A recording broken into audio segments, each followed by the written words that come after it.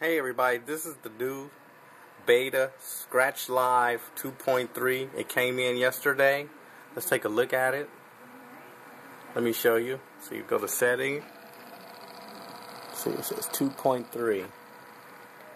Now, let's turn the Rane TTM57 on to start it up.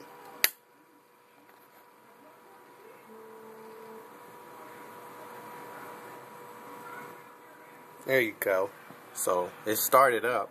The new thing I've noticed is now I can take a song, put it on there, and change it right here. Look at that. And put the intro or whatever cue points you have here. But there's other new stuff. I know it's update for the 350 and 850 uh, CDJs and stuff. So go get it, try it out. Don't use it on gigs because it's a beta version. A beta version of this. So the full version should come out in the next couple of weeks to a month. Then use that one for gigs and stuff. But so just try this beta version out, 2.3 Serato Scratch Live. Thank you.